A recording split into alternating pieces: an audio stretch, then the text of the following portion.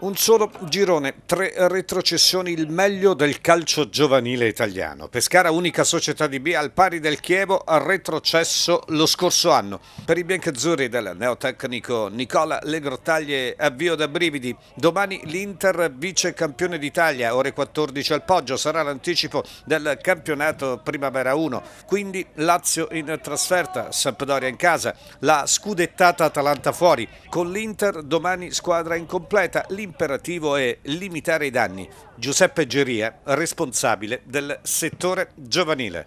Speriamo già dalla seconda di avere tutti i nuovi acquisti che la prima giornata sicuramente non ci saranno per questioni burocratiche di tesseramento. Parliamo di? Manè, Diambò e, e altri tre ragazzi in arrivo. Purtroppo si stanno allenando ma ancora non, non abbiamo i tesseramenti.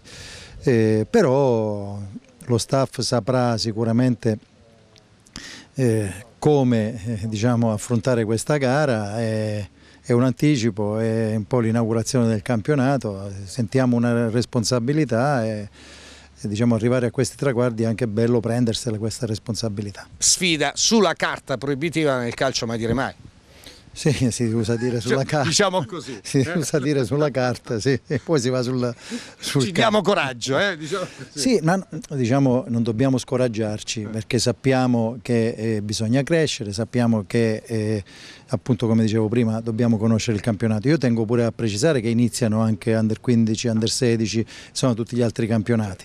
E noi, eh, che non sono meno importanti. No, no, noi, noi mettiamo pari eh, importanza dalla 13 che eh, da quest'anno diciamo 13 e 14 faranno anche il campionato pro quindi si affrontano tutte le squadre professioniste la federazione sta dando questi input noi cerchiamo di eh, creare questa filiera e portare più ragazzi possibili alla primavera Borrelli giocherà in primavera?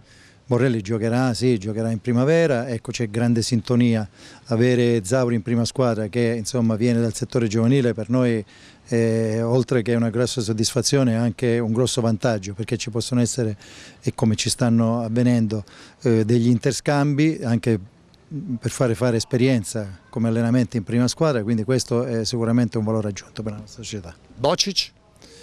No, Bocic per adesso sta in prima squadra, è giusto che venga valutato, però è, è tutto in divenire. Noi ci confrontiamo settimana dopo settimana e poi sicuramente si opterà per le migliori soluzioni, soprattutto per i giocatori. La scelta di Le Grottaglie ispirata proprio da Geria?